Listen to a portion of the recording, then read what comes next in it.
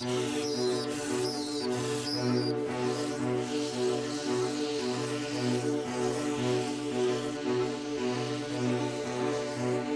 my name's Andrew Coonrad from NVIDIA. Today I'm super excited to bring you guys something we've been working on, the GeForce GTX Titan. With three-way SLI, we're giving you the world's first gaming supercomputer. Here at NVIDIA, we test the performance of a GPU by how well it does in today's most demanding games.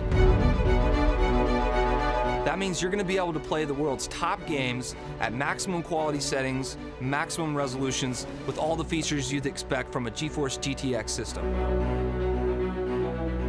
We know some of you guys like to test the performance of a GPU in a completely different way, so we went out and got the best of the best to test the overclockability of the GeForce GTX Titan. Let's go talk to my buddy Kingpin. Okay, so you came here, you set up this crazy rig, and you're doing some crazy stuff. What did you do today? Uh, bench four-way quad SLI and GTX Titan. So you broke a record. What record did you break?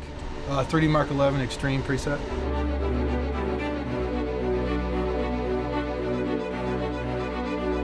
What did you do it with? I did it with four GTX Titans on air. On air. And what was the previous record? Uh, four GTX 680s on LN2 at 1800 megahertz. 1800 megahertz. And you did it on air. Okay, so what does that mean for the gamer with GTX Titan?